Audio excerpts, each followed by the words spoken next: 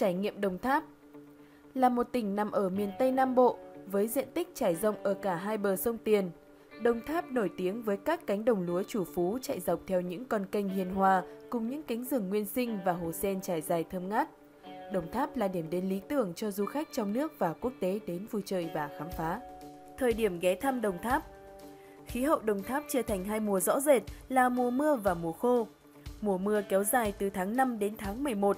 Nếu ghé thăm vào thời điểm này, bạn sẽ được thỏa thích thưởng thức nhiều loại trái cây tươi ngon và chiêm ngưỡng những cánh đồng sen trải dài tít tắp với một nét đẹp đặc trưng mà không phải nơi nào cũng có được.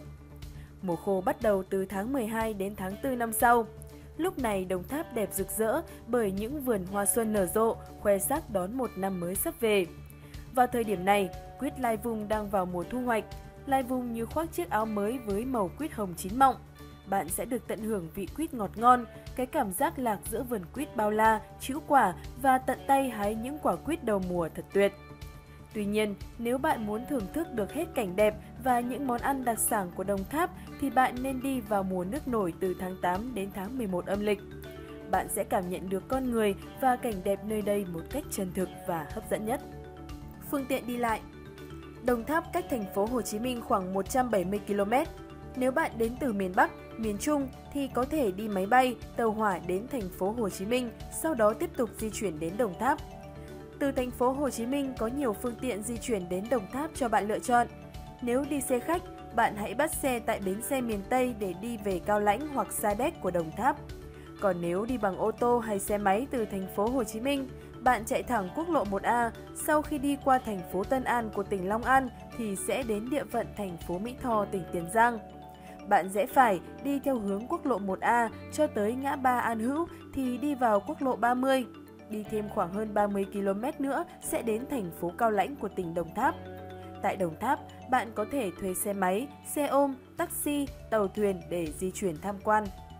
Địa điểm lưu trú Du lịch Đồng Tháp ngày càng phát triển nên có rất nhiều khách sạn, nhà nghỉ chất lượng cho bạn lựa chọn như khách sạn Sông Trà, khách sạn Bình Minh, khách sạn Phương Nam, nhà nghỉ Ông Thi, nhà nghỉ tỉnh Đồng Tháp, nhà nghỉ Trọng Nghĩa. Ngoài ra, bạn cũng có thể lựa chọn các homestay đúng chất miền quê như Tư Cá Linh Homestay Đồng Tháp, Rose Homestay, Hai Lửa Homestay Đồng Tháp, Flower Village Homestay Đồng Tháp, Cao Lãnh Homestay, Flower and Frog Homestay, Hòa An Village Homestay, dù không tiện nghi, hiện đại như các khách sạn, nhà nghỉ, nhưng bù lại, bạn sẽ có những trải nghiệm chân thực nhất về cảnh đẹp và người dân nơi đây. Những điểm tham quan nổi tiếng tại Đồng Tháp Khu di tích Xẻo Quýt là một trong những điểm dừng chân độc đáo bạn không nên bỏ qua khi đến với Đồng Tháp. Trong thời kỳ kháng chiến chống Mỹ, khu du lịch Xẻo Quýt từng là căn cứ quân sự quan trọng. Ngày nay, nơi đây vẫn còn lưu giữ nguyên vẹn nhiều dấu tích thời kháng chiến. Bên cạnh là điểm tham quan lịch sử, Xẻo quyết còn là điểm du ngoạn thiên nhiên lý tưởng với hệ động thực vật đa dạng và phong phú với nhiều loài quý hiếm được ghi vào sách đỏ Việt Nam như rắn hổ trâu, chim xà mỏ rộng, chăn mốc. Còn gì tuyệt vời hơn khi bạn được len lỏi dưới những tán cây rừng hay lênh đênh trên con thuyền ba lá luồn qua các con lạch nhỏ, vừa thả hồn vào thiên nhiên hoang sơ, vừa trải nghiệm cuộc sống bình dị của người dân nơi đây với việc gỡ trải trên sông, buông cần câu cá trong căn tròi giữa ao sen hay học cách đan các vật dụng hàng ngày như giỏ, kệ bằng các dây lục bình phơi khô sẽ cho bạn những trải nghiệm thú vị, hấp dẫn và đáng nhớ. Khu du lịch sinh thái Gáo Rồng Nằm trong khuôn viên có diện tích 1.700 hecta, Gáo Rồng là điểm đến hứa hẹn giúp bạn tận hưởng trọn vẹn bầu không khí thôn quê yên bình với vẻ đẹp thiên nhiên hữu tình và không khí trong lành mát mẻ. Đến đây, bạn sẽ được trèo xuồng ba lá cùng các cô gái miền Tây trong bộ trang phục áo bà ba xinh đẹp. Bạn vừa xuôi mái trèo tận hưởng khung cảnh chim trời cá nước, vừa lắng nghe khúc vọng cổ ngân nga cho bạn cảm giác thật thư thái và bình yên. Bạn cũng có thể leo lên đài quan sát cao 18 mét để chiêm ngưỡng màu xanh bạt ngàn của rừng tràm và quan sát những hoạt động hàng ngày của hàng trăm đàn cò trắng, le le, vịt trời đang bay lượn kiếm mồi vô cùng thú vị. Ngoài ra, bạn có thể tham gia một số trò chơi dân gian hay tìm hiểu thêm về các nét đẹp trong đời sống văn hóa đất phương Nam từ ngàn xưa của người dân nơi đây. Đồng sen tháp 10 Nhắc tới Đồng Tháp là người ta nhớ ngay đến câu thơ Tháp 10 đẹp nhất bông sen Nơi đây có những cánh đồng sen trải dài bất tận, những đóa sen hồng cùng nhụy vàng, đài hoa nhô cao cùng lá xanh mướt tạo nên một khung cảnh bình yên, lãng mạn vô cùng. Đồng sen tháp 10 đẹp nhất vào mùa hè. Khi sen nở rộ khoe sắc, bông này chen lấn bông kia vươn lên đón nắng là thời điểm tuyệt vời nhất để bạn ghé thăm. Đến với đồng sen tháp 10, bạn có thể thỏa thích ngắm sen trên các tròi được đầu tư giải rác trên khắp đồng sen, tận hưởng trọn vẹn một bầu không khí êm dịu, thuần khiết và nhập vai thành cô thôn nữ đồng sen với áo bà ba, nón lá để chụp ảnh hay tự tay hái những bông sen hồng tươi giữa không gian bạt ngàn nắng gió cũng là một trải nghiệm không nên bỏ lỡ. Làng Hoa Sa Đéc Khởi nguyên là làng Hoa Tân Quy Đông, một làng nghề truyền thống hơn 100 năm tuổi. Nằm bên bờ sông Tiền, quanh năm lộng gió, màu mỡ phù sa, ngập tràn ánh nắng và được mệnh danh là xứ sở của các loài hoa kiểng. Đến với làng Hoa Sa Đéc, bạn như lạc vào thế giới của muôn sắc hoa.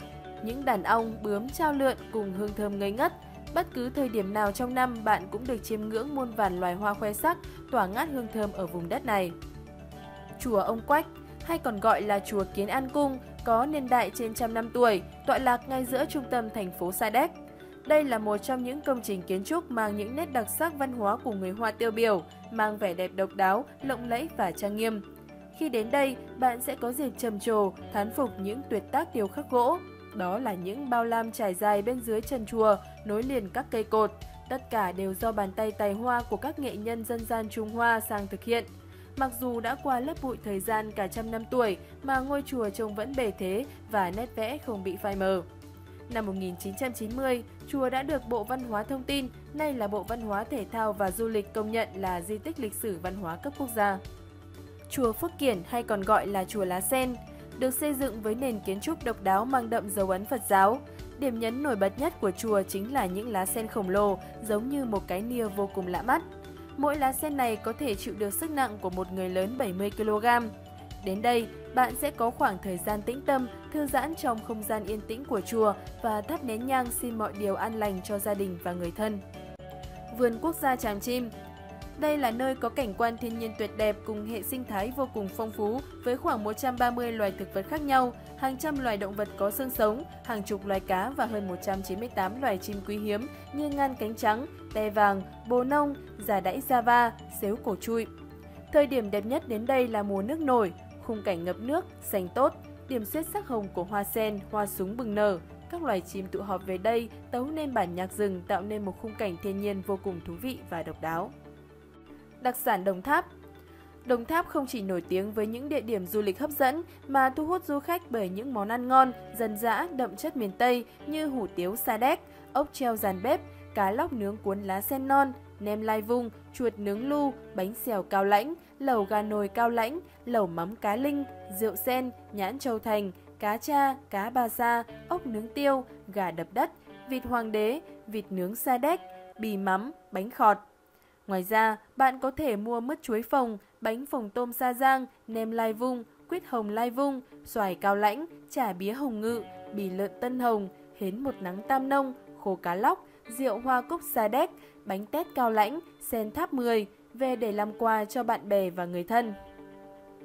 Bạn cần chuẩn bị những gì khi đến Đồng Tháp? Bạn cần chuẩn bị quần áo thoải mái, thoáng mát vì nơi này có thời tiết nóng, ẩm, nắng gắt vào mùa hè. Trang phục gọn gàng cũng giúp bạn dễ vận động và di chuyển.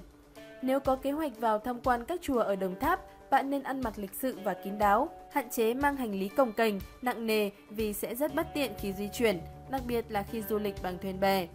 Mang kem chống muỗi, thuốc trị côn trùng, thuốc trị các bệnh cơ bản, nhất là thuốc trị đau bụng, đề phòng có sự cố khẩn cấp. Nếu bạn đang có kế hoạch lựa chọn Đồng Tháp cho chuyến vi vu sắp tới của mình thì hãy tham khảo những thông tin của chúng tôi. Chúc các bạn có chuyến du lịch Đồng Tháp thật vui vẻ và đáng nhớ.